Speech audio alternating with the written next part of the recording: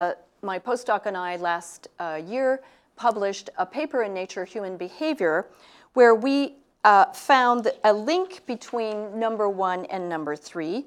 People usually think that first you fix the numbers of women, you get more women into a discipline, and then you can introduce sex and gender analysis, but the reverse may also be true. Uh, and it's very important for policymakers. Our findings demonstrate an empirical link between increasing the numbers of women in academic medicine and enhancing excellence in research by incorporating sex and gender analysis. So, my short talk today will focus on this third strategic approach fixing the knowledge. It's the newest area and the most important for the future of science, engineering, and innovation. And this is what gendered innovations is all about. So let's dive in. Doing research wrong costs lives and money. For example, 10 drugs were withdrawn from the US market because of life threatening health effects, and eight of those pose greater threats for women. Not only did these drugs cost billions of dollars to develop, but when they fail, they cause human death and suffering. We can't afford to get the research wrong. But doing research right can save lives and money. And I like these kinds of metrics. This is uh, an economic analysis of the Women's Health Initiative, which was a large US government uh, NIH project done in the 1990s, which found uh, they were looking to see whether or not women should take hormone supplements after menopause. And uh, it was so clear that, they, that women shouldn't that they stopped the trial in midstream because it was becoming dangerous to take these supplements. So this study found that for every dollar spent in the research, 140 were returned to pa- taxpayers in healthcare savings, and it also saved lives. As you can see, there were fewer cases of cardiovascular disease, fewer breast cancers, and more quality adjusted life years. And of course, the downside of not having as much estrogen is that there are more osteoporotic fractures. So it's crucially important to get the research right from the very beginning, and this is the goal of the Gendered Innovations Project. This project does two things. First, we develop state of the art methods of sex and gender analysis, and secondly, we provide case studies or concrete examples of how gender analysis leads to discovery and innovation. And in this talk, I'm not going to look at the methods, but I want to share some of the case studies with you. But first, to make sure that we're all on the same page, I offer to you this lovely uh, illustration from Vera, Vera Raggetsa who works in what they call on the continent gender medicine um, in Berlin. And as we know, sex is, are the biological components of a human being, and these interact with gender or the social attitudes and behaviors that shape people's experience. Here she's emphasizing nutrition and lifestyle, but you might think of education or ethnicity or any number of factors. And these interact over the course of a lifetime to produce health outcomes in adults. So we are made up of both our sex and our gender. Then I want to emphasize that we talk about male and female, and in this talk I'll mostly talk about men and women, but we need to see that the population is also composed of intersex people, and I'm giving extra credit for those of you who can tell me what the eight countries are that allow doctors to check intersex rather than male or female on the birth certificate. Not the US. I think India was the first. I think India was. Yes, India. More comers.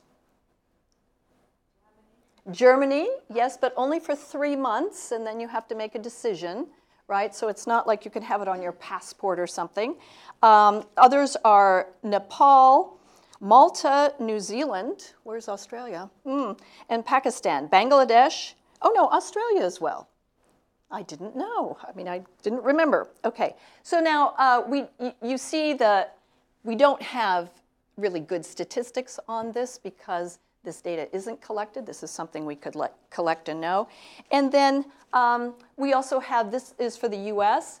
Uh, we have around 2 million transgender people, and we don't know how many people are gender fluid. It's not, it's not data that is collected, but it would be very interesting to know. So let's go back to why 10 drugs were withdrawn from the US market. There are many reasons why drugs fail and fail more often for women.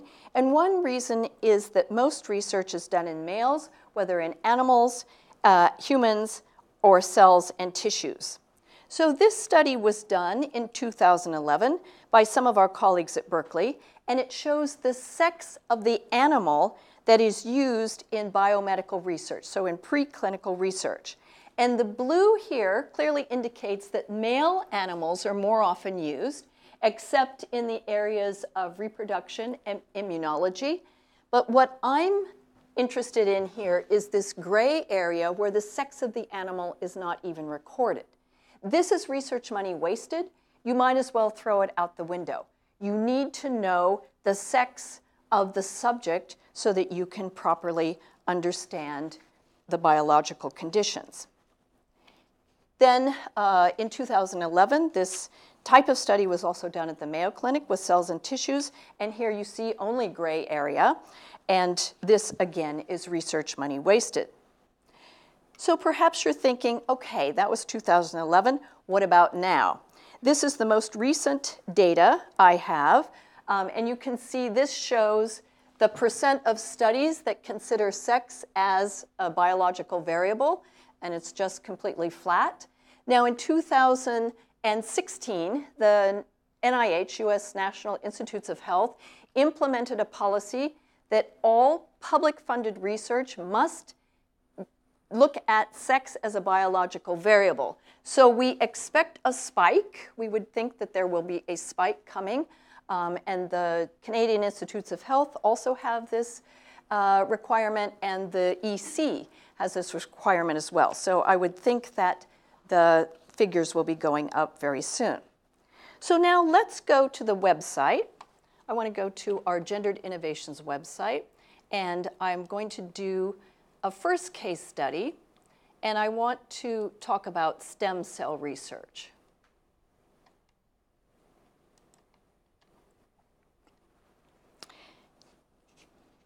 And I mean, as you see our website here, this is a public uh, resource. Anybody can use it. We built it to work as fast in India as it does in Silicon Valley.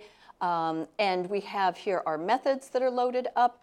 These are the kinds of questions that researchers can ask when they're designing a project so that they get the right uh, sex and gender analysis into the project.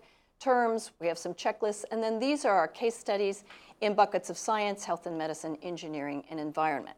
So I'm going to start with stem cell research. Why might the sex of the cell be relevant? Research shows that there are sex differences in the therapeutic capacity of stem cells. This slide shows stem cells taken from muscle tissue and indicates that female cells are more regenerative or active than male cells. Yet very few researchers consider the sex of the cell which can lead to failed research. An international team from Norway and Australia worked with some stem cells in mice, and they appropriately used male and female mice in the study, so they get a good grade on that part of their research design. But they used all female stem cells, and this was an unconscious and arbitrary decision. It means that in the discovery phase, they did not see anything unique to the male stem cells, nor did they detect important differences in function between male and female cells.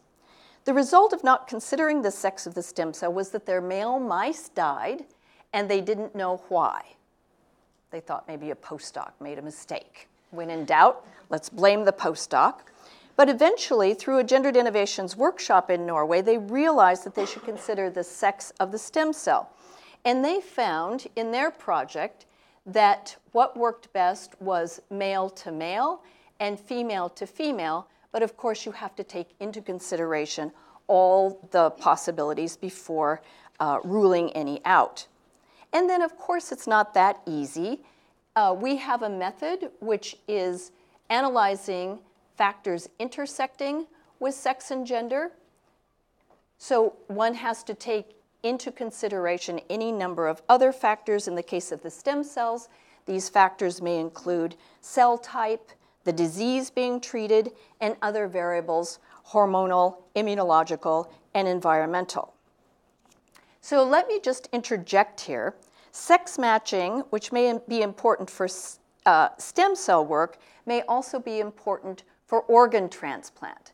So I hope you never need a heart transplant, but you should look at the science if you do. For hearts, it seems that male to male, and for kidneys, male to male, lungs don't follow that pattern. But even when the surgeon may know the best science of the sex involved, then there's a gender issue. In the US, anyway, I don't know about the UK, women donate more organs. So even if the surgeon knows the best science, the surgeon may not be able to implement because of gender relations in society. So there's much more that we can say about biomedical research. Uh, we have a number of case studies, but I want to turn now to engineering and talk specifically about machine learning. And I will talk about natural language processing and focus on machine translation.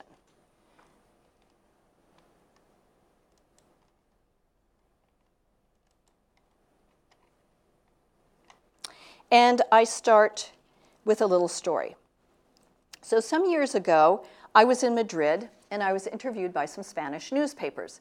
And I don't happen to read Spanish, so when I got home, I zoomed the articles through Google Translate. And I was shocked that I was referred to as he. Londa Schiebinger, he says, he thought, and occasionally it wrote. Google Translate has a male default. So, how can such a cool company as Google make such a fundamental error? And this is where it gets interesting and where you need the interdisciplinary research. Google Translate defaults to the masculine pronoun because he said is more commonly found on the web than she said.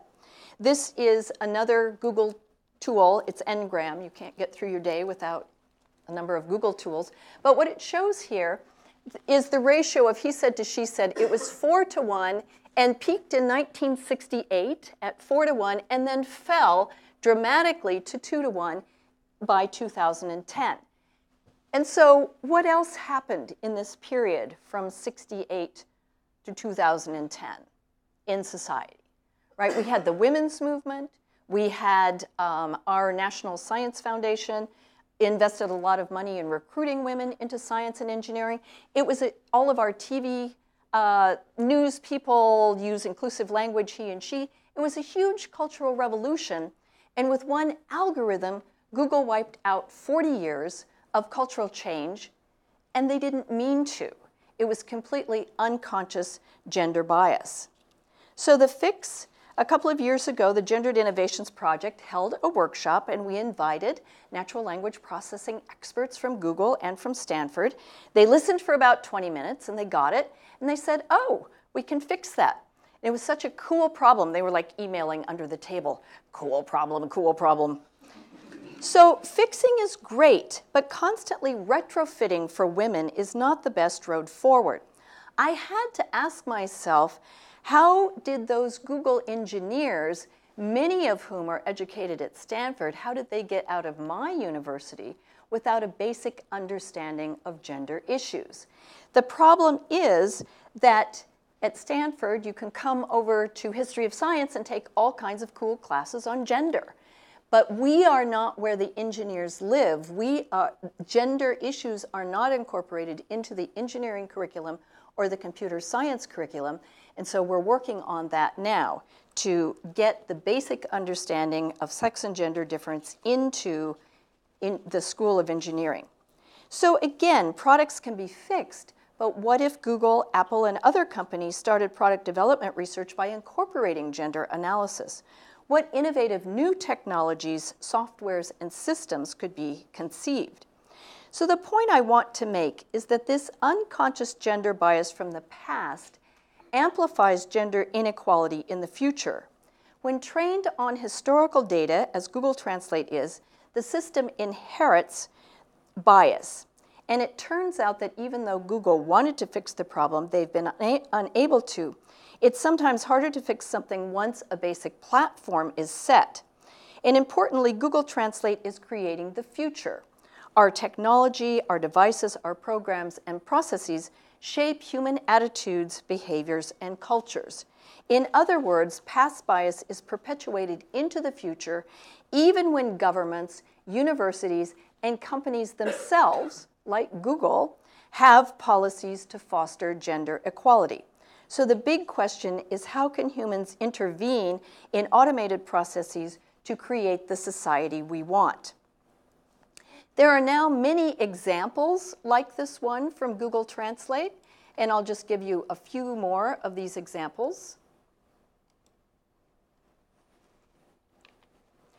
So, if you use Google search, men are five times more likely than women to be offered ads for high paying executive jobs. These are jobs over $200,000 in the US.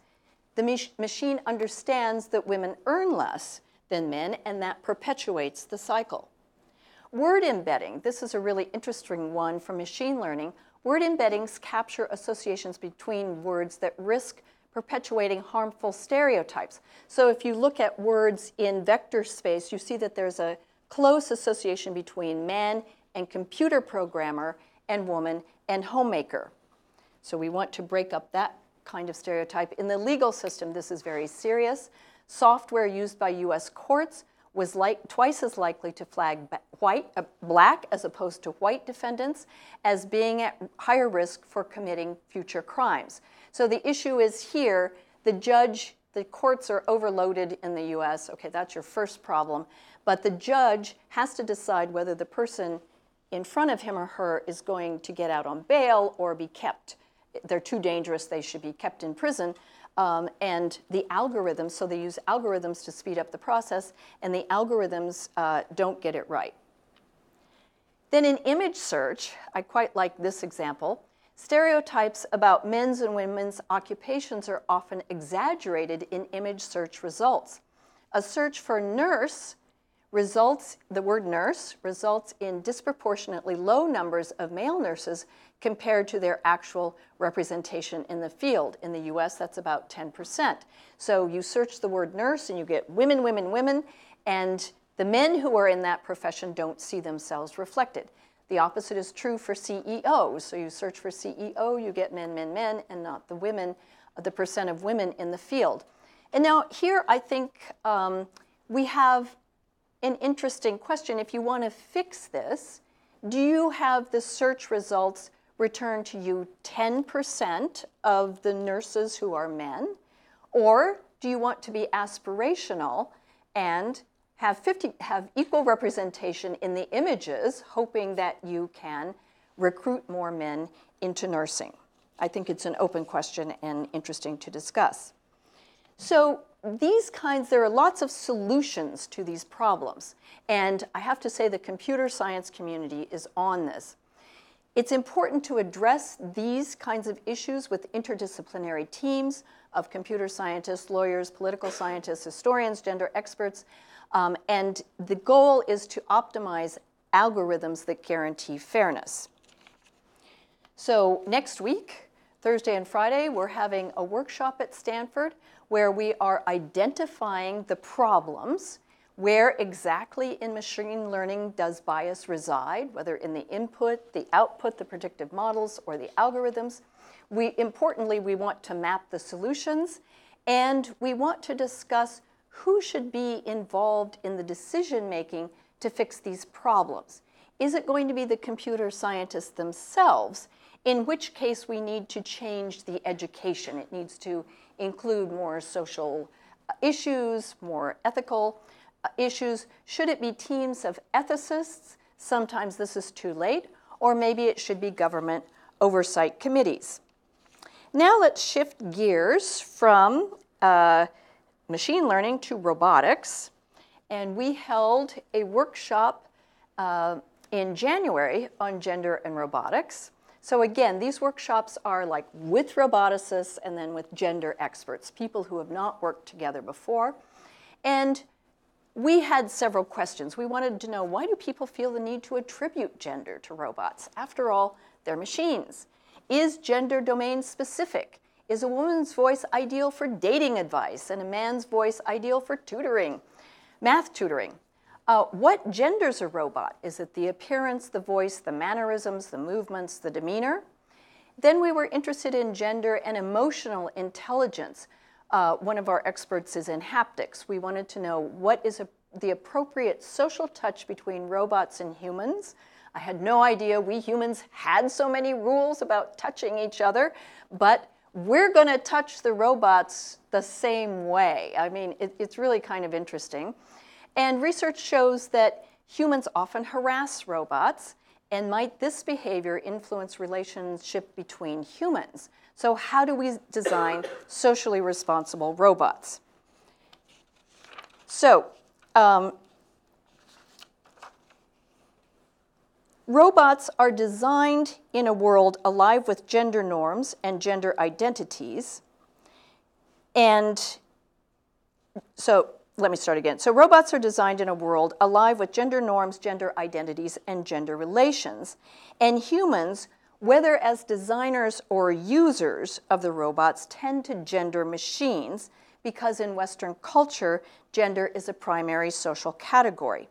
And robot designers and specialists in robot human interaction argue that this tendency of humans to project human social cues, including gender, onto artificial intelligence may in fact help users engage more effectively with robots. That's debated whether we should gender the robots to make them more effective with people or not.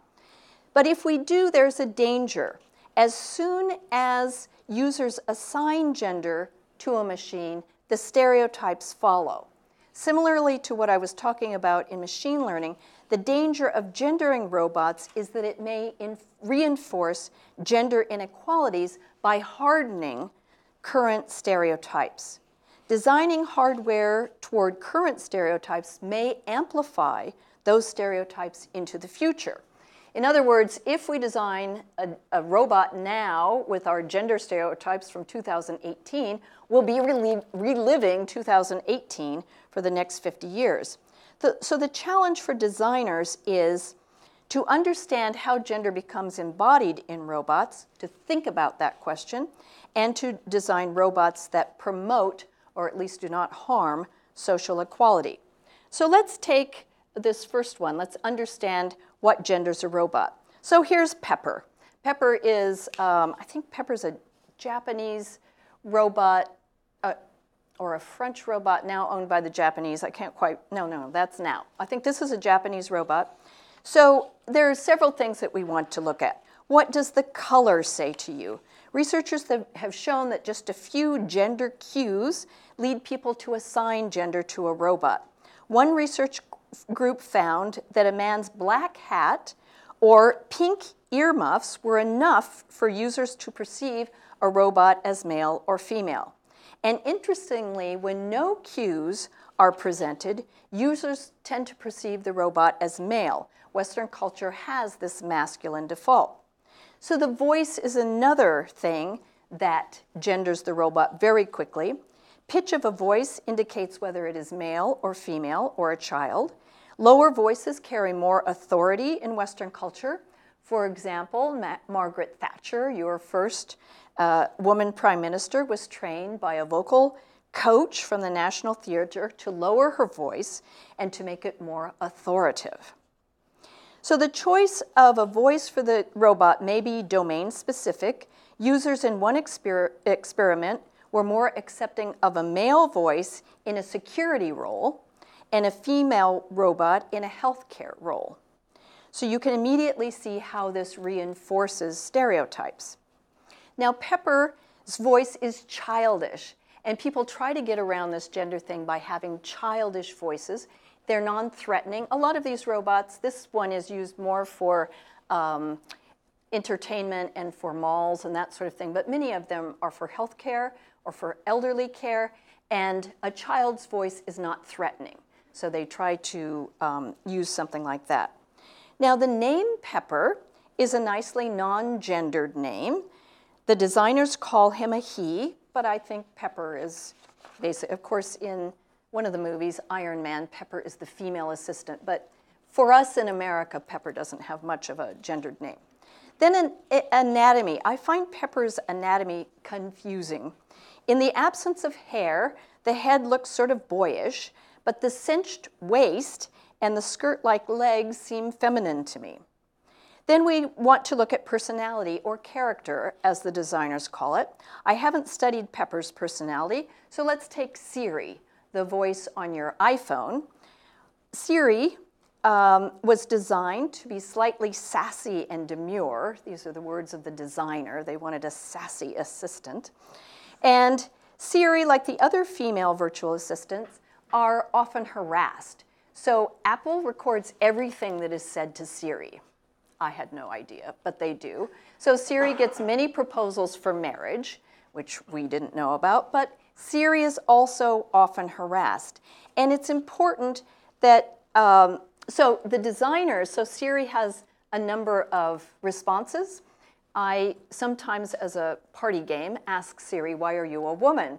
And you get three or four responses out of Siri, right? They're like programmed responses. She says, I was not assigned a gender, meaning it's my fault I'm assigning her a gender, not Apple's fault that she has a gender. But anyway, we want to make sure that how humans become uh, used to interacting with machines, that this doesn't spill over into human behavior. So if we are harassing robots or uh, these virtual voices, we want to make sure that, so her responses have been changed to uh, rebut the harassment a bit. So the designers have done something there. So now back to Pepper. Here's one of the kickers. Social critics have pointed out that most of these robots are white, that you will see, and they find that the many, many blue eyes are problematic from an ethnic point of view. So it would be very easy to choose. Uh, Pepper's eyes uh, differ whether it's listening, it changes its eye color to indicate to the user that it's listening or not. Um, but we could easily have chosen colors from outside the human palette. So let's look at a couple more robots. Here's NASA's superhero Valkyrie rescue robot. So NASA claims that Valkyrie uh, is completely gender neutral. That's the US policy that Valkyrie should be gender neutral. Sorry, I almost said she. Um, but most humans will interpret the robot's uh, unmistakable breasts as female. And, but nonetheless, the broad muscular shoulders and uh, the visual representations seem decidedly male to me, but I read the backstory of Valkyrie, and the designer, because he had a seven year old daughter, wanted to challenge gender stereotypes and create a superhero who was female. So this is supposed to look female. Now, NASA gives you a long story about why there are breasts, because there's a battery pack and Poor Valkyrie can't balance without having more weight on the front. But did they have to give her cleavage, is what I want to know.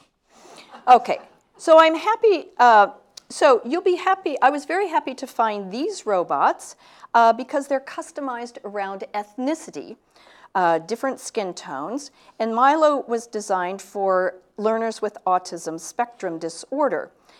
Now, Milo only comes in the male variety, and of course, more males suffer from autism. Females are underdiagnosed, but perhaps it's reasonable that this is a male robot. Uh, but I do think we would then need something for the millions of girls who are also suffering from uh, autism. So let me, well, I do have more to say, but I'm sort of running short on time.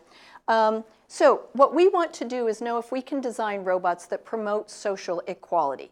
There are six options I think we can take. We can challenge current gender stereotypes with our robots. We can design customizable robots where users could pick or choose features.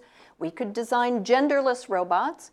We could design gender fluid robots. I haven't found any examples of those. We can step out of human social relationships and just uh, a lot of assistive robots are animals, little seals and teddy bears and things.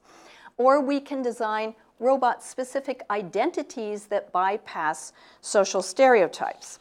So, the important thing here is that we create a virtuous circle.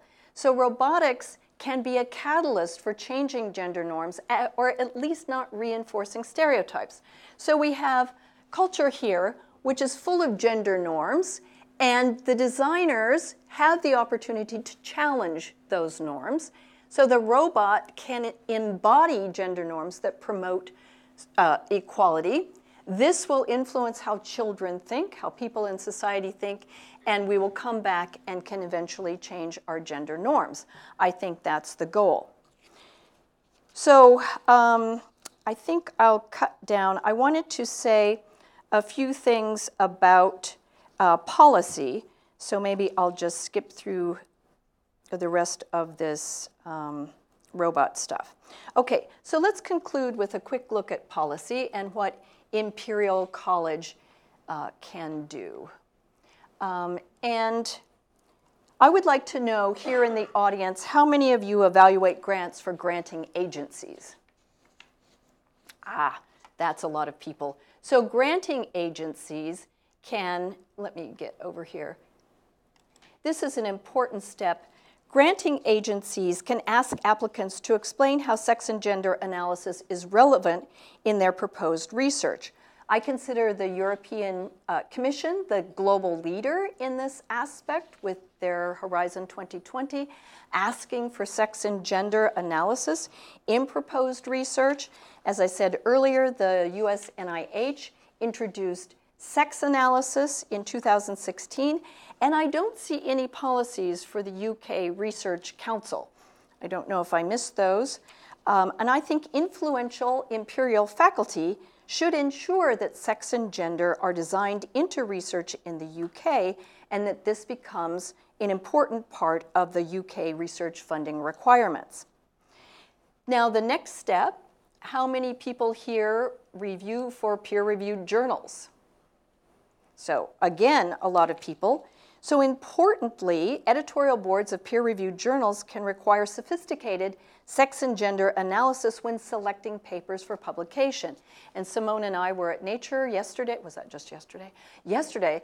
And uh, Nature is going, is looking at doing an overarching policy for all of its journals to ask for sex and gender analysis. So your students should be ready for that if they want to publish in uh, places like the, uh, the Nature. So the Lancet um, put in place these policies in what 2016, I think it was. Now, to support research, it, it's important for universities to integrate sex and knowledge and uh, analysis into the curriculum. And here's where Imperial will shine, I think. You have Simone, who's working on curriculum. Um, I'm aware that many departments here hold the silver awards from the Athena Swan. And I think you can go a step further by integrating sex and gender into the research, not just into the team building and that sort of thing. And I think we will, I think Athena Swan will be moving toward this as well in their certification process. And then finally, industry. Products and systems that incorporate the smartest aspects of gender can open new markets. Products that meet the needs of complex and diverse user groups enhance global competitiveness and sustainability. So, there is much work to be done. Researchers need to learn sophisticated methods of sex and gender analysis. Universities need to incorporate these methods into the curriculum, and corporations need to integrate these insights into product design. But eyes have been opened. We cannot return to a world that ignores gender. Innovation is what makes the world tick. And as I hope I've begun to show, gendered innovation sparks creativity by offering new perspectives, posing new questions, and opening new areas for research. Can we afford to ignore such opportunities? Thank you very much.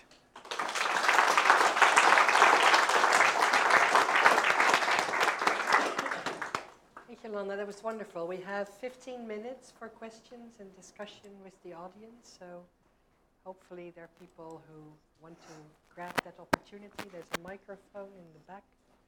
So who can I?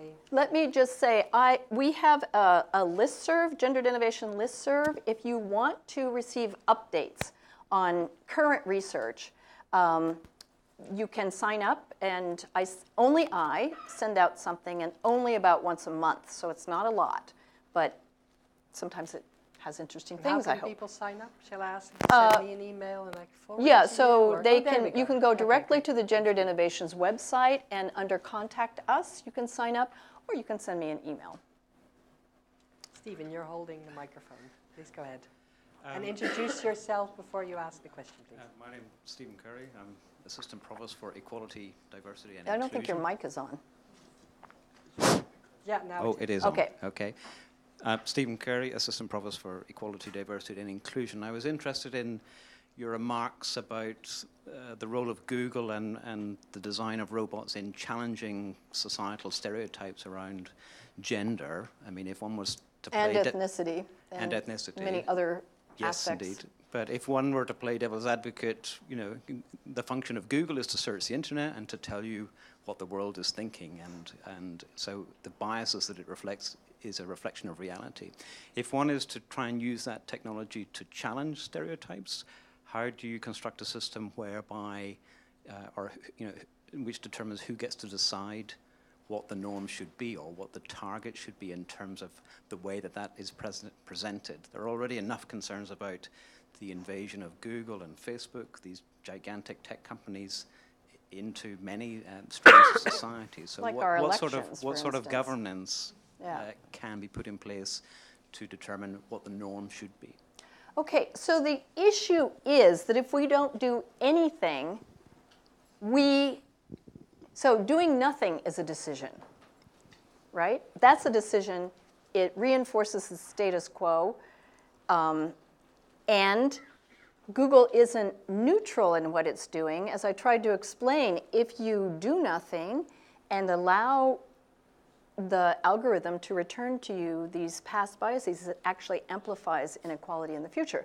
So it, Google Translate is now, I am an active woman, an intellectual woman, but I'm being translated as he. So it's adding he's to the website, to the web, and it's going to reinforce the notion that intellectuals are he's. So by doing nothing, we are allowing many things to happen, right? So that's a decision right there. So to say that we have to take a decision, we're already making a decision. And I think that places like Google and uh, that a number of machine learning people are only becoming aware of this. And as I said, they're on it. They're very open to it. Uh, the people coming to this machine learning workshop are, you know, technologists and also social scientists and the like. Uh, so I think that we need to take active decisions about these things and not just be passive in the face of this. So you're already making a decision by just letting it run, and we now need to actively intervene and decide. We are humans, we are making this technology, and we need to s- decide what we want and what kind of societies we want. And I mean, you know, the whole Facebook thing in our elections, that's really very serious. Can I ask a counter question? If we would allow black defendants to not be out on bail just because there's a problem in the algorithm that we may want to not intervene with? I mean, I'm, I'm, I'm sure you're not proposing that because you were devil's advocate. But if you just allow the system to be the system, we're really seriously disadvantaging people. Uh, w- w- I mean, that's a good point, and you're absolutely right that not doing anything is, is also a Is a decision. decision. But it's a very easy decision to make But because it just it's not happens by default. the, the question was more about what is the mechanism to implement a system of governments that achieves the desirable end.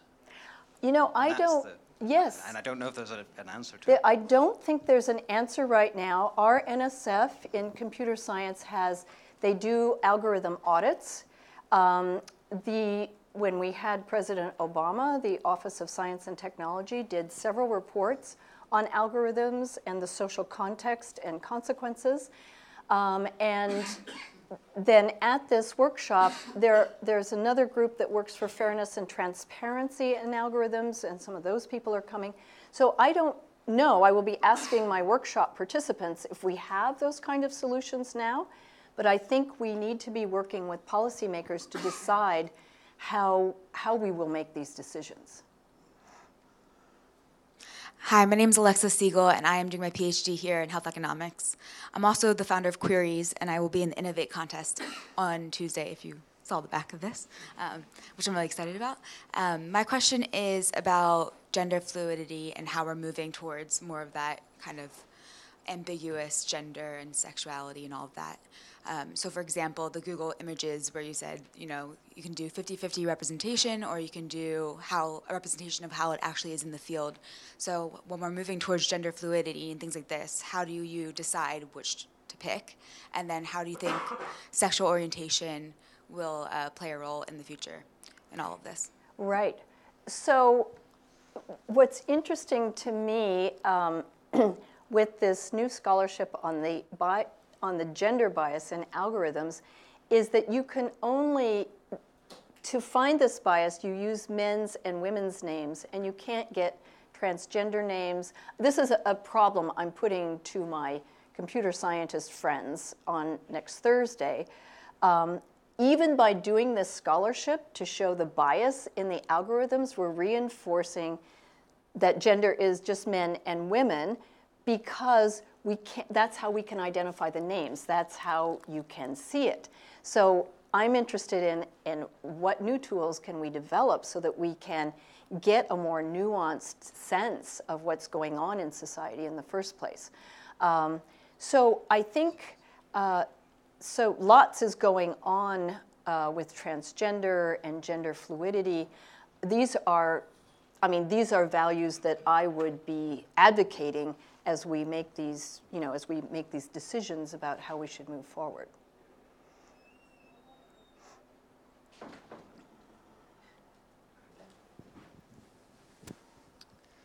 Hi, thank you. Um, I wanted to push a little bit Could more.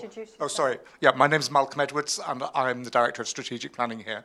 Um, I wanted to push a little bit more on, as we're going down the queer theory angle, and I wonder if I could take you on an imaginative journey across to Berkeley and ask you whether actually if gender is performative and if our identities are performative, and you can tell I did a queer theory PhD in the 90s, so excuse this all sounding a bit dated. Um, actually aren't the robots an, aren't the robots a wonderful opportunity to actually test uh, human acceptance of uh, performance and gender fluidity and, and, and change in performance. Because whilst in some ways robots are much more constrained than we are in terms of the fluidity of their performances, in other ways, not having a psychology perhaps, you know, their, their, their performances can be more fluid. And in fact, is, isn't one of the things you could do with a robot to have it um, adjust its gender performance depending on the, uh, on the way in which it's being received. And I think that would be actually a really interesting. I'm, I'm sure. I'm sure Professor Butler wouldn't accept that her theories could be could be uh, empirically tested, but actually it would be a really interesting experiment. Well, I was one of the slides I skipped was to actually recommend that Stanford and Imperial do some kind of human robot interaction experiment around gender equality. You could do it around gender fluidity. We are all fluid, right? I mean, I have to adopt masculine behaviors in my profession. Um, and I hope I'm adopting softer behaviors at home, though I think my family would not think so necessarily. But um, yeah, so the robots should be adjusting their behavior according to the person. That's, that's one of the goals of emotional intelligence. Um, I don't think we're very far with that yet.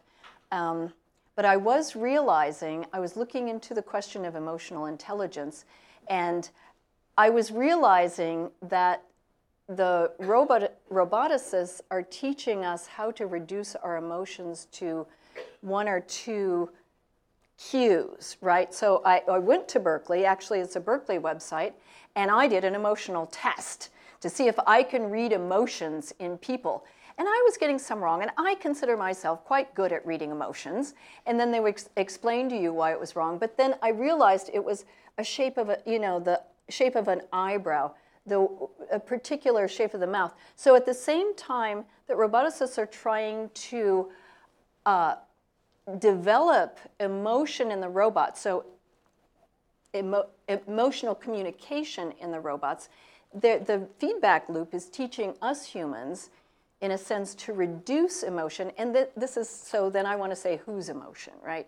So I'm concerned about keeping the uh, variety of gender experience we have and loosening that up so people can express whatever they want to express.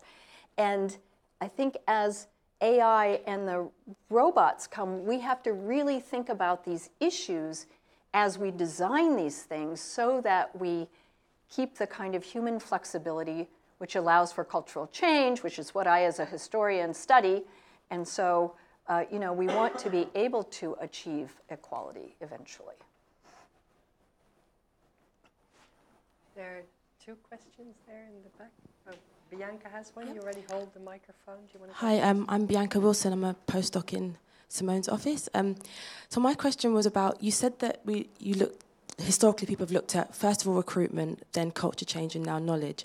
But my question is, if the same people are programming the robots and the same people are doing the workshops, then surely they're going to do that in their own identity. So if you don't change the recruitment, so you have more people of color and more women actually in the positions, how can you change who decides what you should put into developing the robot? So in terms of your wheel about culture, what cultural norms are, in what circumstance, depends on who's doing it, and what people see as acceptable is often influenced by your ethnicity and your background as well. And I just wasn't sure how you think about actually, Yeah. if we have the same people, how do we change that? Well, so I don't want to let the majority off the hook. I think that analyzing gender is something that people can learn, which is why we developed 12 methods to guide people in that work. Yes, you want diversity in the design team as well, but we have to break the cycle somewhere.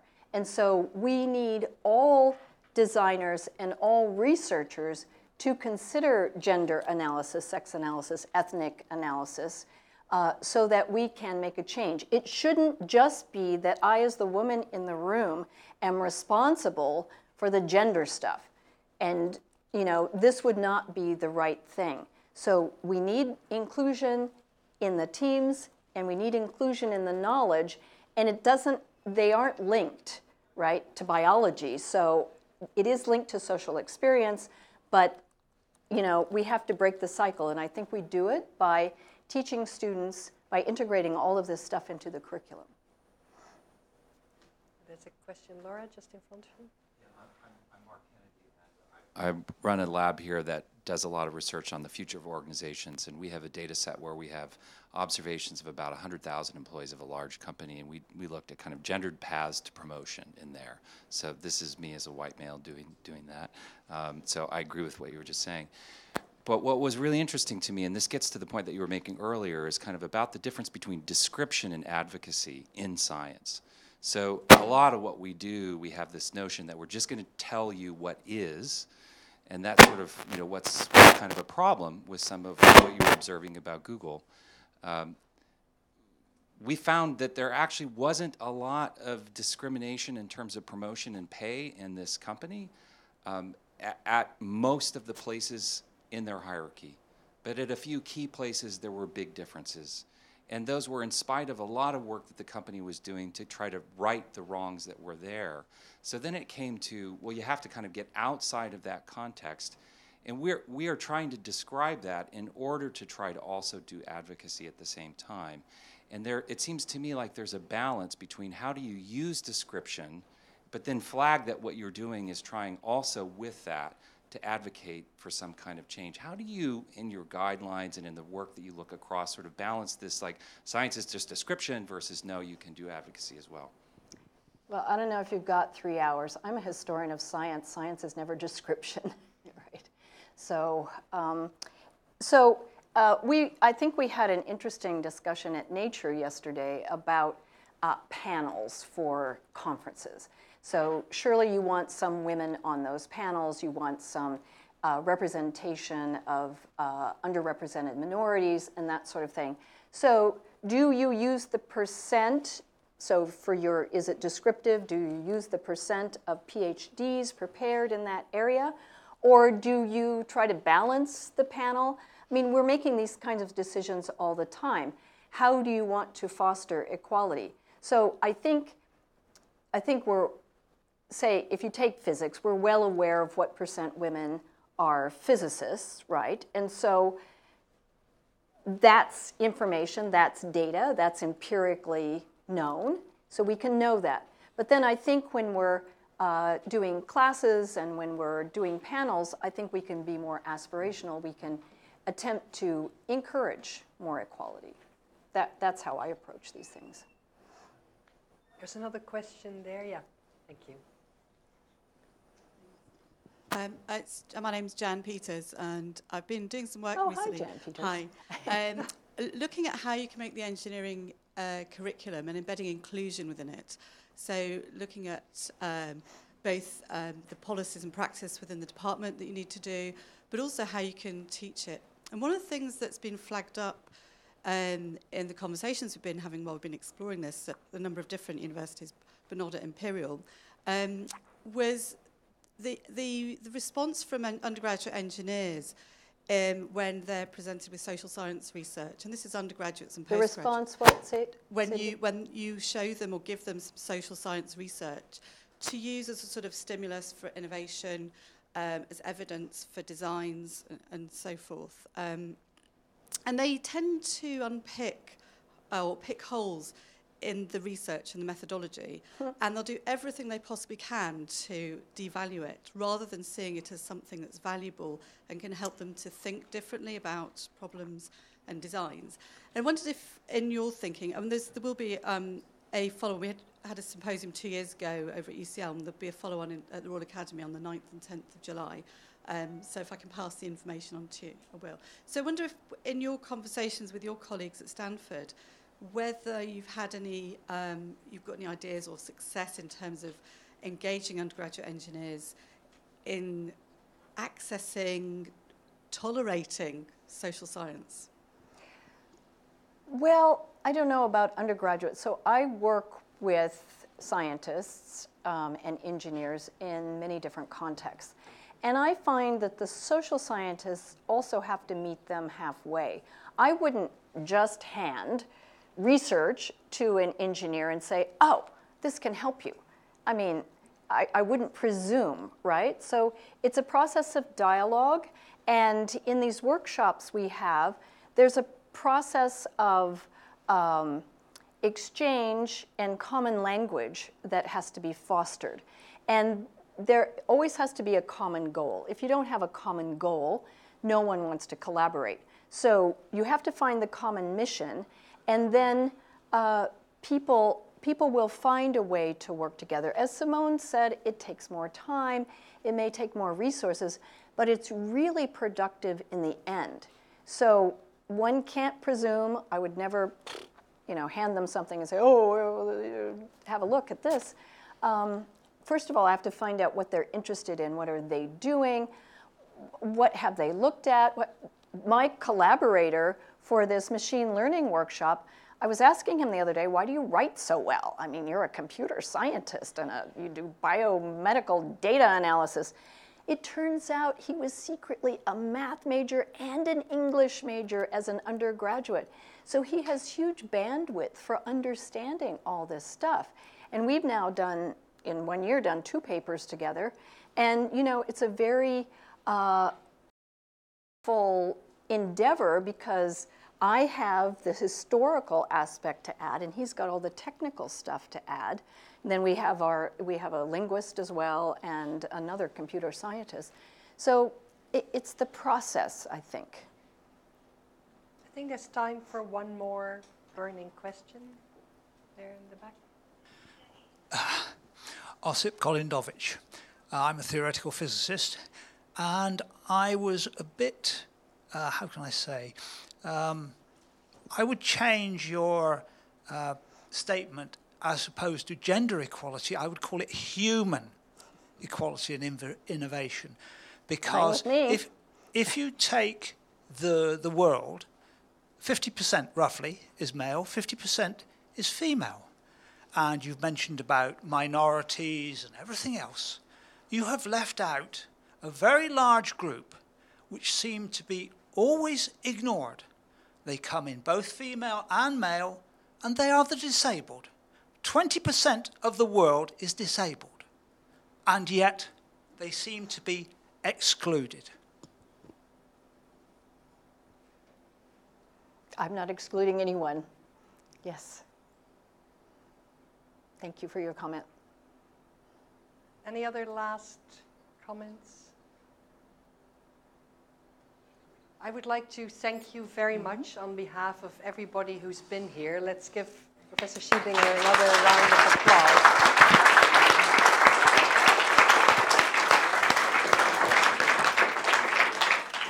Said earlier, this is certainly not going to be the last time that we're interacting. Um, there's a lot of opportunity both in the research and in the curriculum. We are a research intensive university. And um, Nick Jennings and I will be working with you and your Stanford colleagues. Actually, one of Imperial staff is coming to your workshop next week. And we'll try and work with Stanford on all the important um, tools that we need to integrate into our thinking. And I think that together we can really make a, a huge change. We can, we can help one another, but you're clearly much more experienced than we are. So thank you very much. I have a small present for you that I'd like to hand you. There you go. You don't need to unwrap it. It's Okay. from the Victoria and Albert. Uh, Oh, it's a thank bit you. more posh than our, our gift shop. so thanks very much. There are drinks outside, so people who want to ask questions to uh, Londa in one-to-one, they can do it during the drinks reception. We have at least half an hour or so to, uh, to do that. So thank you very much.